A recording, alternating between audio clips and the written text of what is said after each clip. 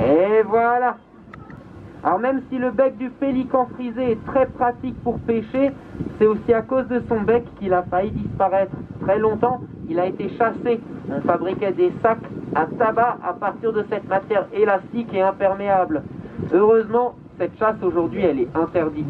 Et grâce